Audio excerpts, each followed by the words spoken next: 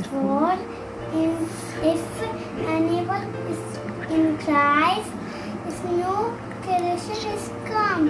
The old is gone.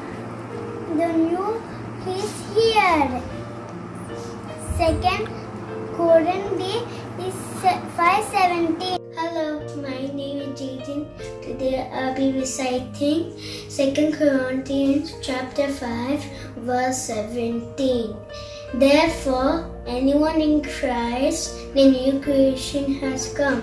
The old creation has gone, the new creation is here. Thank you. Therefore, if anyone is in Christ, the new creation has come, the old has gone, the new is here. Chap- Second Corinthians uh, chapter 5 verse 17. Therefore, if anyone is in Christ, the new creation has come. The old is gone and the new is here. 2 Corinthians chapter 5 verse 17. Therefore, if anyone is in Christ, the new creation has come. The old has gone, the new is here. 2 Corinthians 5 verse 17. Thank you. Anyone is in Christ, the new creation has come. The old has gone. The new is here. Second Corinthians chapter 5 verse 17.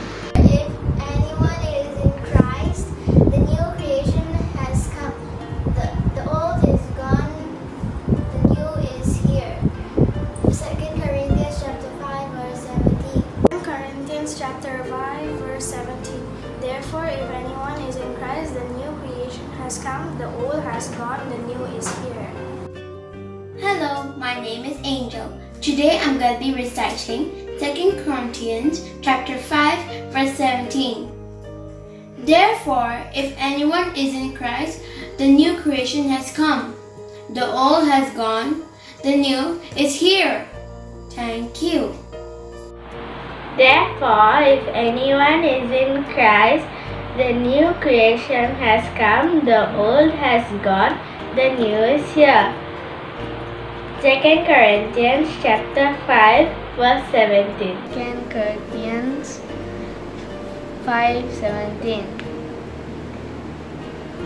Uh, therefore, if anyone is in Christ, the new the new creation has come.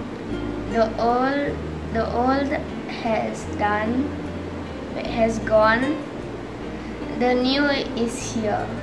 Hi, praise the Lord. If an, therefore, if anyone is in Christ, he is a new creation.